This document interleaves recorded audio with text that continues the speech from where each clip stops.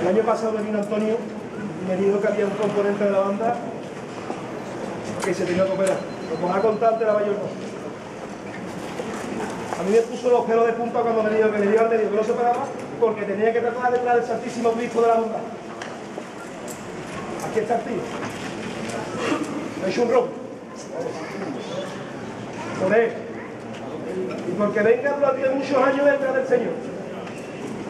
Él y esas almas benditas que tocan los acordes musicales para que el Señor de la bondad se pase por su alma. Todos por igual, ¿valiente? Vámonos,